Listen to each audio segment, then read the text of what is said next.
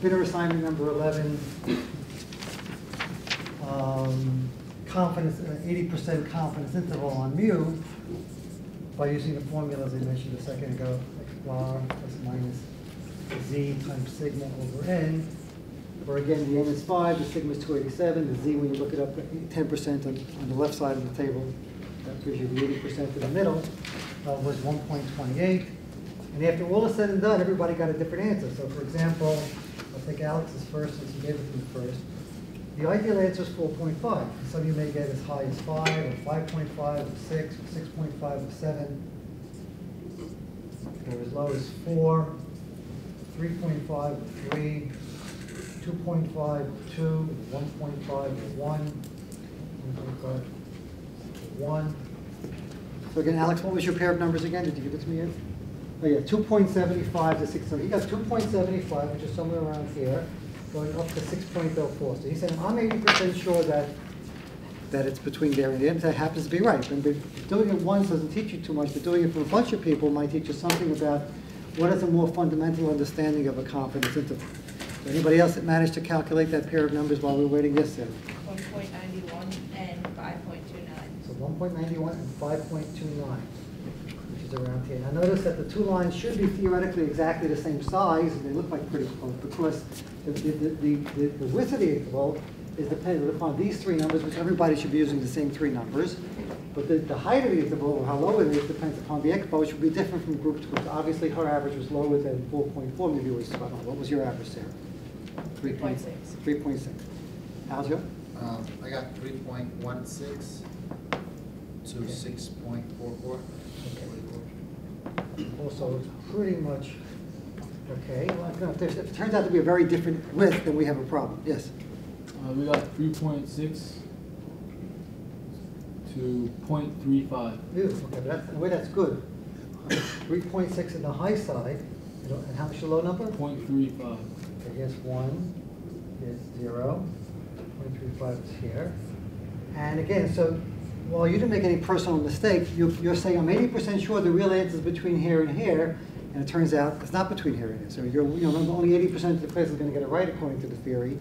And so far, we have, thank God, one person didn't get it, so now we're, we're close. The theory, at this point, we have four people doing it, the theory would have predicted one out of, uh, yeah, so far, four, now, four out of five, getting one out of four, missing the, the mark, so to speak, the, the correct answer of covering four point five is exactly, you know, the theory says eighty percent, so No, you want? three out of four is seventy-five percent, you're not gonna get any closer than that. But we can, let's try with ten people, five people, anybody else? Gina, what was yours? Uh, two point three six to five point six four. Five point six four, okay, that's good. That's right, four to five is eighty percent. Now, now, now it's exactly, now it's exact, now if I stop right here, I would be per- perfectly proving my theory, but it's not really fair to stop when I'm winning, so to speak. So let's keep going, we'll do ten, and then if we have ten. Yes, Rep. Uh, Michael? Well, what I got was two point two seven to four point eight. Again, four point eight, which is around here. See, the problem with that, two point two seven, again, you see your line is smaller, which means it made, it made- what number do you use for the z? Let's put it that way. Uh, it's the same one as before, one point two eight. Right, and the sigma, uh, And the sigma is two point eight seven and and the, and the n is five, square root of five? Oh, Okay, square root, so something went wrong, try it again. Somebody else, yes? I have two point one six and five point forty-four. Five point forty-four is around here, and two point what? One six. Around here. Okay, good. Somebody else in the back, uh, Uh, four point five six and seven point eight four. one point five six is a good one, because that misses it. And seven point eight four, which is here, that's great. So you, you obviously picked an unusually large, not unusually, it's gonna happen twenty percent at a time, but unusually large average, and that's why you missed it, which is a good example, yes. One point fifty-five to four point eighty-four. 1.55, which is here, to what's the high number? Four point eighty-four, 4.84. yeah. Because you made it, thank God. Okay, so we have, we're gonna, okay, we'll take another couple. Yes, Joe? I have uh, two point five six 2.56, which is around here. And uh, five point eight four. I think it's one more. And Michael, you get, you do cal, you did redo the calculation? One- Looking for one more. Oh, Okay, we'll hold, yes. Yeah, um, five point forty-four and two point sixteen. 5.44 and 2 point what? Two point Eighty sixteen. percent. Okay, yeah, maybe. Okay, the the point is, it really perfectly, um, do you have one also? I have a question. Okay, We let- always use two point eight seven as a standard Yes, because that, because we know, one of the rare things, that the nice thing about the spinner assignment, we know that the amount, the spread of all those nine numbers, or ten numbers, is quant, is two point eighty-seven, it's not a matter of doubt, that's a fact. So if we know it, we're, that's why we're allowed to use the z as well, to compare it in a second to the t. The point is, if somebody asks you one of the questions, what does it mean to be eighty percent confident? It means the following, that if you do this hundred, if you did this ten times, Again, think about it. In this case, we know the answer before we start. That's, again, the advantage from an educational point of view of the spinner assignment. We know the answer is 4.5 before we start. But in real life, when you do spin, when you do a confidence interval, you put your hand or you grab a sample of numbers from a population. You don't know the average. The whole point is you're trying to estimate the average. You don't know it. And then you make your interval, and you say, I'm 80% confident means the following. If I repeat my process 10 times, again, in real life, you just do it one time. You don't do it 10 times. But if I would do it 10 times, 8 out of 10, I would cover it. But 2 out of 10, or 20 out of 100, I'd miss it. Or 1 out of 5, I'd miss it. So it goes to take a more, a more typical, if I'm 95% confident, means if I would do this 100 times, 95% of the time I would get the right answer. But 5% of the time I get the wrong answer, which is again, means that I'm not, I'm not 100% confident. It means there is a possibility my answer could be wrong. So that's, that's a deeper answer. So again, if there's a verbal question, which I believe there is in the chapter, what does it mean to be 85 or 95 or 99% confident? The answer has to include the statement that if I repeat this process 100 times, or any large number of times, then 80% of those, of those times I'd be getting the right answer, meaning I'd be covering the mu with my interval, and conversely, 20% of the time I'd be missing that answer. As we see, and we, as we see very again, most of the time it doesn't work out exactly two out, I get, I get three out of 11, or one out of nine, but in this case it worked out perfectly, two out of 10. Michael, you got calculation? Yeah, what's that? I finally got it. Two point four six and five point seven four. Two point four six, which is around here, and five point seven four, which is around here. Okay, good.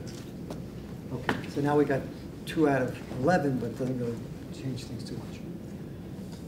Okay, that's going, that's giving you a a deeper interpretation of- of the part of the chapter, is what is a confidence interval? Now we're gonna learn, so it turns out, what you're seeing here, while you do need it for the two points or four points on the spinner assignment, this will not be on the test, because in real life, knowing the sigma, which we happen to know for the spinner assignment is two point eighty-seven, is not really available. Why is it not available? Because we don't, we have a population. Did I go beyond my, my boundaries here? We have a population. We have a population, which is, can be symbolized by a big, big, big box or a big circle.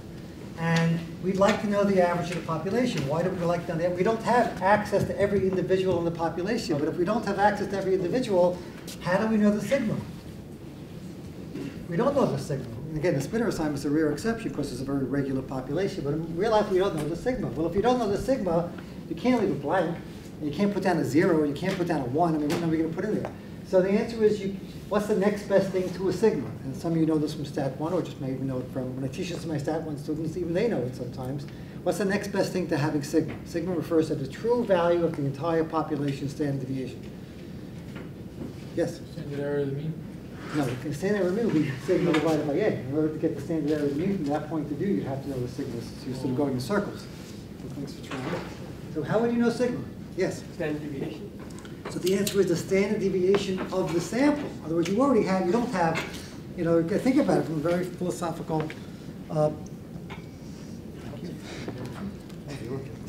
uh, think about it from, we, we, we, so we, we don't know the mu, so we take a sample of numbers, and in the sample we calculate the average. So the average tells us something about the mu.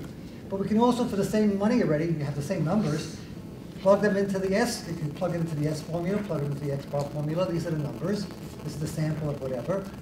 And the S will tell us something about the sigma. Because the S tells you the standard deviation of the sample should be similar to the standard deviation of the population if the, if the sample is representative of the population. I think it's pretty much common sense. So now the formula, the new version of the formula is going to be, instead of x bar plus or minus z times sigma over n, the first thing we're going to do is we're going to substitute the more practical s over n. So what we're doing is substituting instead of the sigma, the standard deviation of the sample. But now, if you think about it further, without going into some mathematical proof, but again, it's common sense, that which is more accurate, the sigma or the n? The sigma or the standard deviation? Obviously,